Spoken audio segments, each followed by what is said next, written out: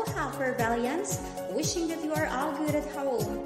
Here are some important reminders from our Korbel Registrar's Office for the school year 2020-2021. There are two terms in an academic year. First semester is from August to December, and second semester is from January to May. Each semester consists of two terms. First term is from August to October, and second term, October to December. Each term has two examinations, midterm and finals. Requirements for enrollment for incoming first year. Report card or Form 138, Senior High School Diploma, photocopy of PSA or NSO birth certificate, certificate of good moral character, ID picture 4 pieces passport size, most recent with red background. Request form signed for Form 137A, one long brown expanded envelope. Certification of honors received for applicants desiring to qualify as entrance scholars. A waiver may be required for lacking credentials by admission office. Two copies of one by one picture for library use. Requirements for enrollment for transferees. Initial screening is done by the registrar's admission office based on a copy of grades and credits earned based on updated transcript of records plus honorable dismissal, certificate of good moral character, ID picture, 4 copies, passport size, most recent with red background, photocopy of NSO or PSA birth certificate. A waiver is may be required by the admission office. For attorneys, students who stopped schooling for reasons other than disciplinary and academic problems may be readmitted. Requirements for readmission updated transcript of records, clearance from the previous department head, honorable dismissal if enrolled in another school, certificate of good moral character, ID picture, 4 copies, passport size, most recent with red background, clearance from any pending accounts. For degree holder for second courses, refresher course, or company requirement, a copy of grades and credits earned based on updated transcript of records plus honorable dismissal, certificate of good moral character, ID picture, 4 copies, passport size, most recent with red background, photocopy of NSO or PSA birth certificate. A waiver is may be required by the admission office. Adding and dropping of subjects. Student may be allowed to add or drop a subject by using the prescribed form provided that he or she is officially enrolled for the semester. Schedule of adding or dropping will be posted. Subject added or dropped should be with the consent of his or her instructor, validated by school cashier, recommended for approval by the department coordinator, and approved by the registrar.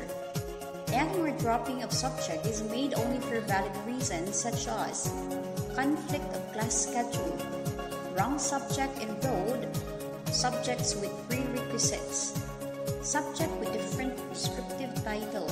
Reasons not stated above are considered invalid. Load carried by a student including additional subjects must not exceed the maximum under the rule on academic load or what is prescribed for his or her curriculum year during the semester. Any student who fails to attend all of his or her regular classes and who fails to apply for renewal of enrollment shall not be entitled to receive any reimbursement nor be given any credit for his or her subjects. Shifting. Any student may be allowed to shift from one program to another after finishing one semester. Students who wish to shift must fill up the necessary forms required by the registrar, get a recommendation from the program head, and have the approval of the college registrar. Grading system. Our new system. Assignment and quizzes 40%. Exam 60%. Note, assignments, quizzes, or AQ and exams 40-60 as fixed.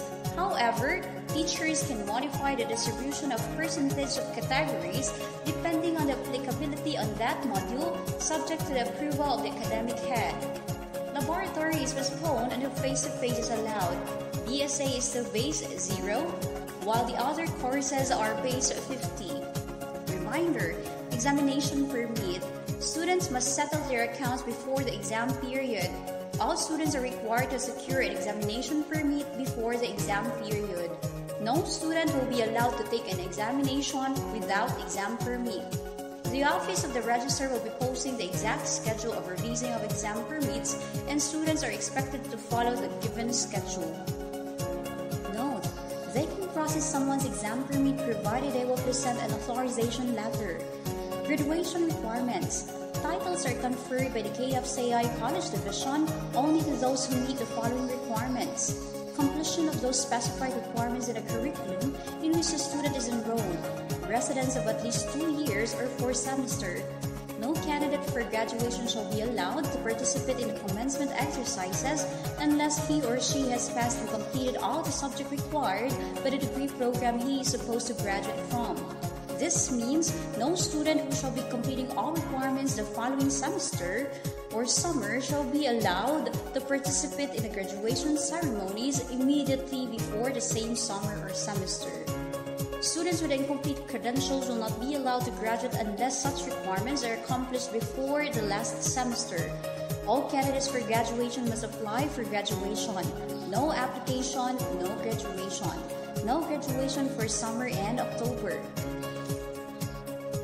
Full scholar, general average of not less than 1.5 with no grade lower than 1.7 in any subject. Partial scholar, general average of not less than 1.7 with no grade below 1.9 in any subject.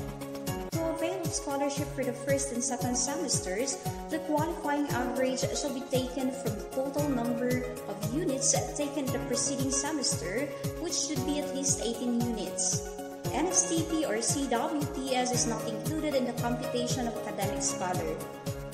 Sponsor scholarship. Incoming first-year students with sponsored scholarship are obliged to present certificate of scholarship or endorsement letter issued by their sponsors.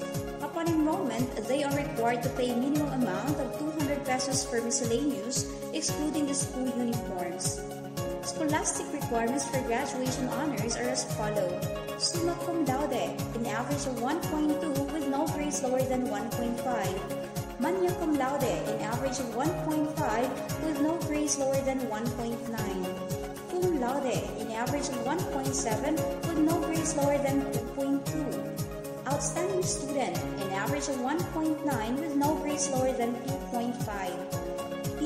Shall be included in the computation of students' average grade using its full weight of 2 units per PE subject. Thank you for trusting Korbel.